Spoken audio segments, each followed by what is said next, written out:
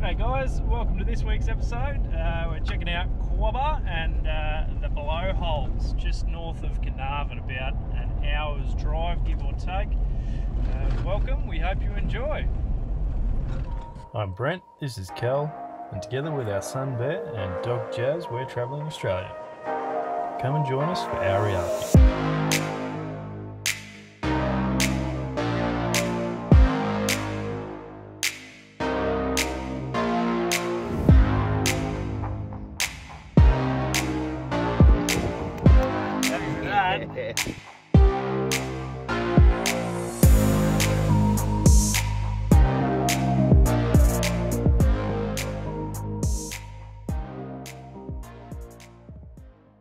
This is the campsite here at Quobba. Um, we're just got a nice little setup in behind the dunes. We'll just go for a quick walk over to the beach. We're kind of just behind the dunes here, which break the wind a little bit. But yesterday it was blowing like 25 knots easy, and it was bloody uncomfortable. Today a lot nicer. I'm just going to come check it out. Now, come over here. Look at this, eh? How good's that? Couple more people down the beach today.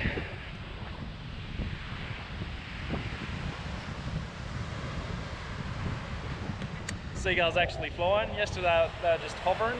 Quite funny to watch. And I'm just tossing up whether there's enough wind to go for a quick kite but I don't know, might be a little bit light at the moment. Let's see if it picks up a bit later on. Just enjoy the scenery for now. Ripper of a spot. Kind of got like a fringing reef out the back. Again, hard to see. Uh, but there is a bit of a boat channel and a little bit of a boat harbour there. They call it the boat ramp, but it's literally just sand. So you'd either want to have a couple of trucks or just a small tinny or something to be able to put it in and out. We'd be able to get the um, boat loader and that down there, no worries, but it's just been too windy for us at the moment. Here's Chockers right at the start of the campground. So if you go a bit further down where we are, there's uh, definitely more privacy. There's plenty of room to turn around if you've got a van. Uh, but I get, hard. yeah, I mean, these guys, I guess, from their camps get a view of the ocean.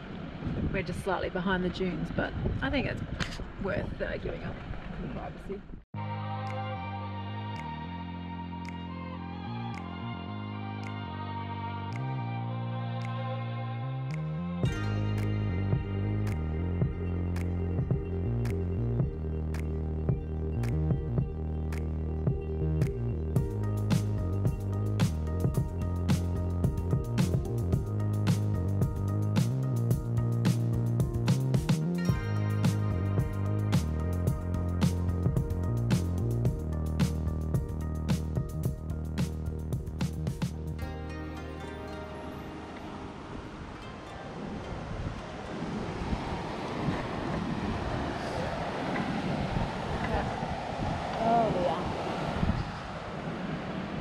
Don't know if you can see it, but they're mighty stuck down there. There's a lot of digging going on. And some relaxed fishing as well. Yeah, I guess you might as well make the most of it while you're stuck. Should we see if they need a hand? Better.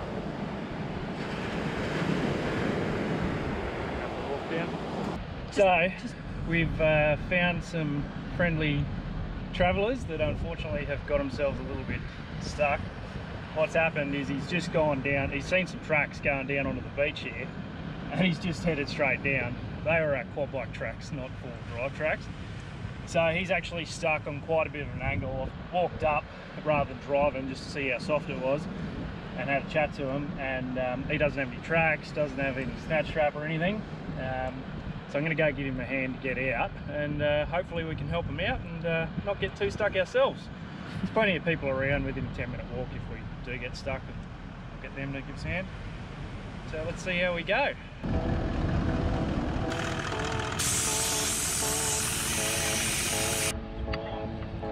Sure is. Is that screen on?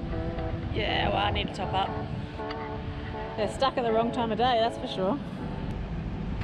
Can't use that tow ball. No. Yeah. Good, good point. Never, ever, ever put a snatch strap over a tow ball. they come off.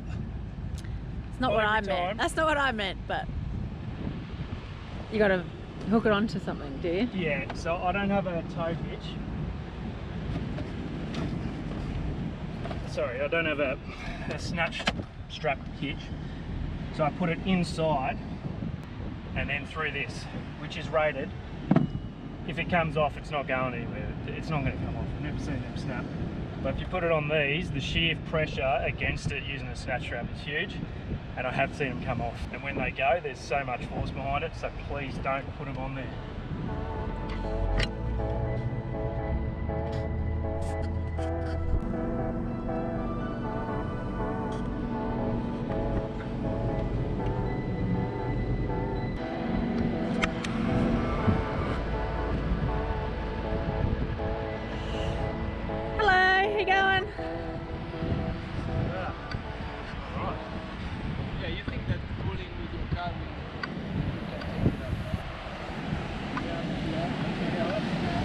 Hello, how are you? Yeah, good. Oh, how long you been here? Here, Yeah. mm, 15 minutes. Ah, that's no, not no, too it's bad. not, not that much. Pretty good. I don't know, he was just walking here. Oh, we were up there, we saw you, so he walked down to check before we drove That's down here. why I Yeah. where you came from? Thank you. That's alright.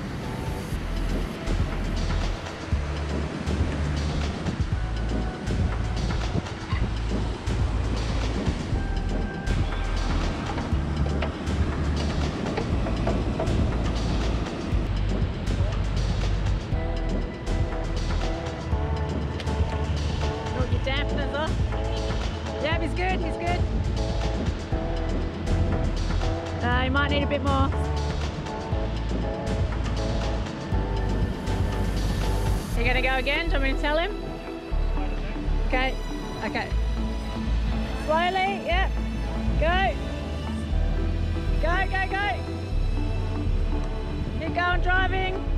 He's good, he's good.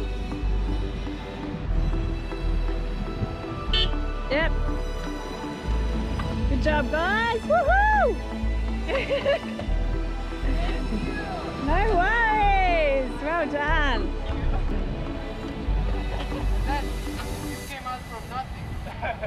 Yeah. Came, walked in and was like. Just appeared, the god. Yeah, like. Uh, cheers, bro. Thank you. Appreciate it. So yeah. No worries. All All right, right. we'll be out of your way in a second. yeah. Have a great day, guys. See ya. Did your good deed for the day, babe? Yep. That was uh, going to be a hot time getting out of there in the middle of the day. Yeah, I've been stuck on a side angle like that before, and it's not very fun. No.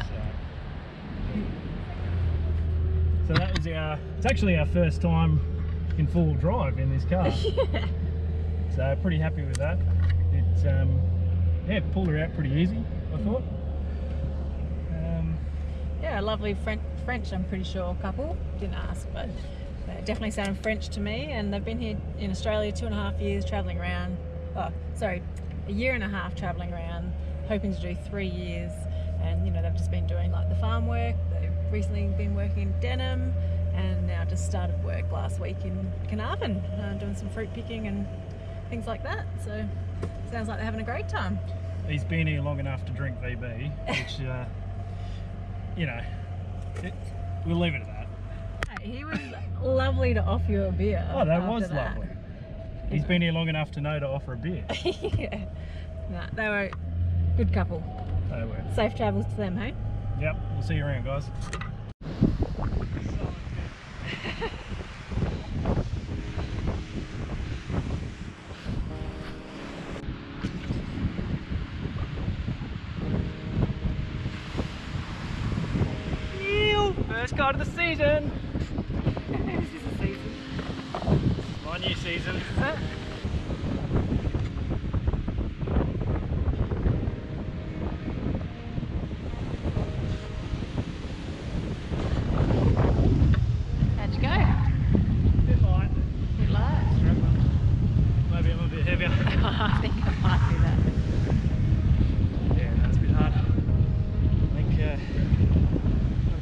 else would have made it. Good. Got the uh, cobwebs off? Almost. I couldn't even get the, like get out of the water and put back around there. Oh really? Oh mate, so I'm uh, going to ask you a question. No. Yeah mate, go for it. We can share anyway. Yeah. He just doesn't want to hook you.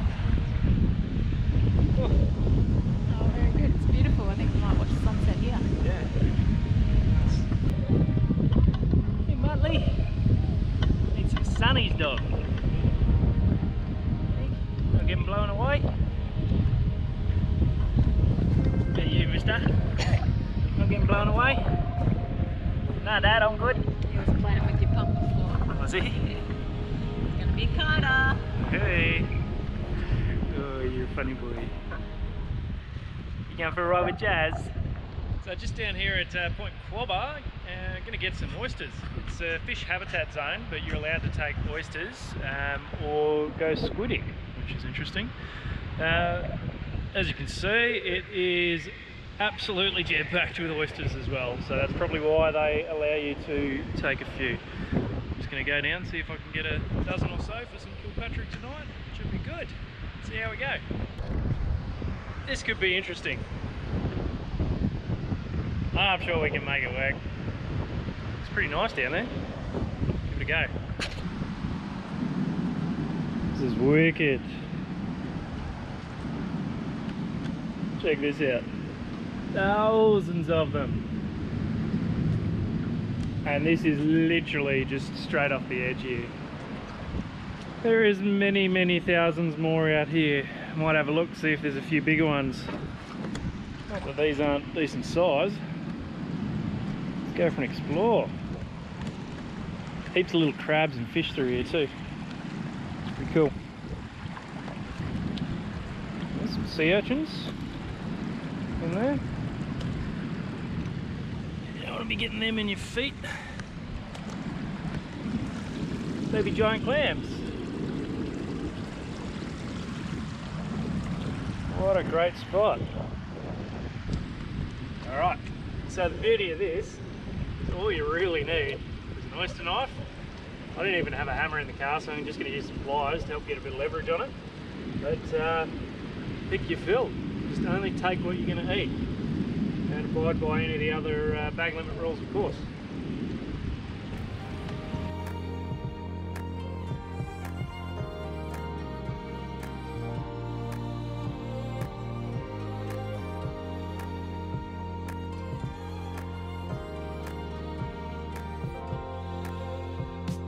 Oyster hopping.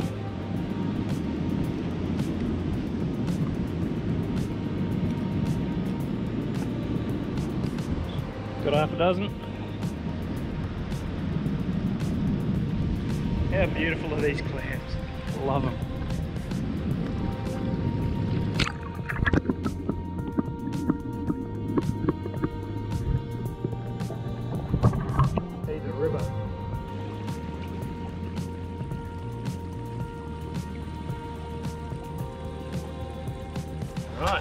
So time to enjoy the fruits of our labour.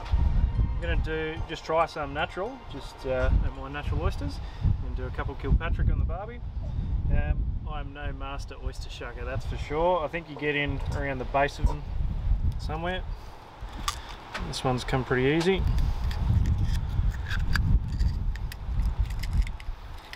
Doesn't want to give up.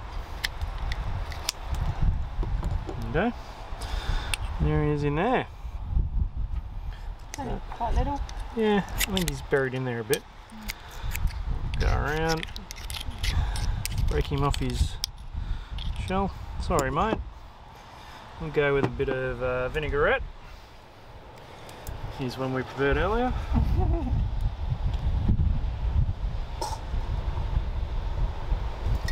Oh, a bit too much there. Straight down the hatch.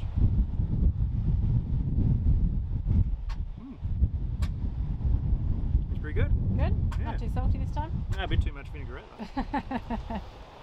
no, it's good. I mean, they're a little bit different to what you get, you know, nice rock oysters over east in South Australia and that, but pretty good. Worth a try. Don't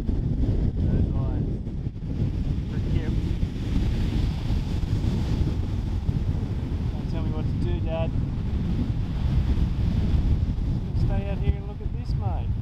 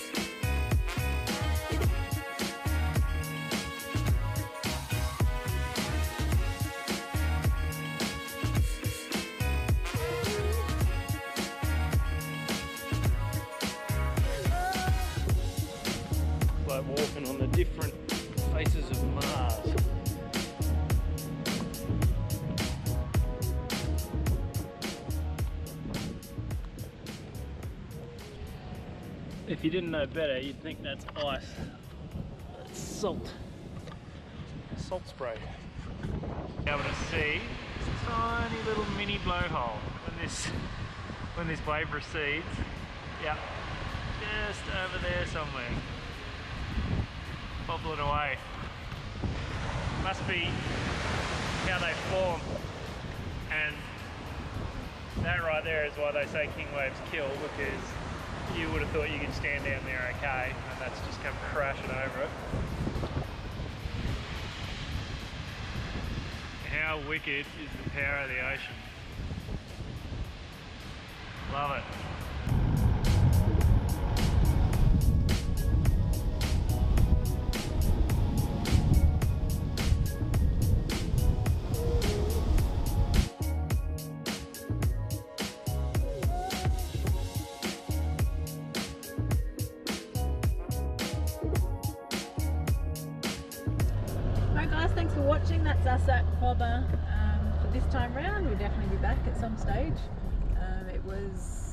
$11 per person per night to camp here.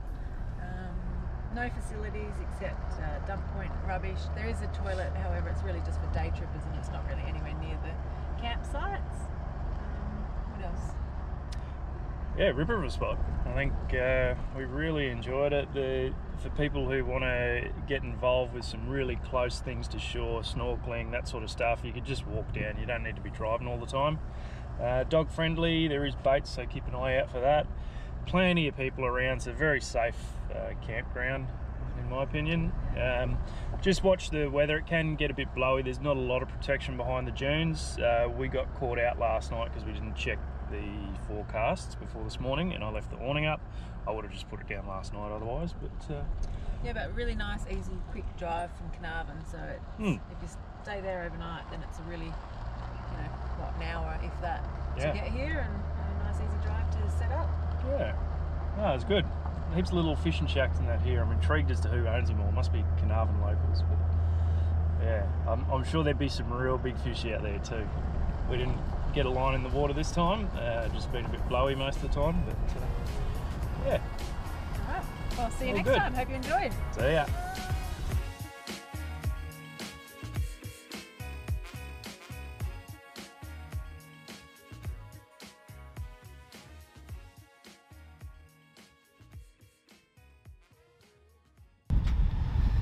So uh, there's not really enough room on the barbecue tonight with all the chicken we're doing. So I'm just going to eat the rest of these natural. I've already eaten most of them. I'm going to get a bit of Tabasco this time. I don't mind Tabasco with my uh, oysters. What do you like? Hmm. Oh, this one's a bit gritty where I got into him. Hmm. Well, big sucker. Mm, vinaigrette.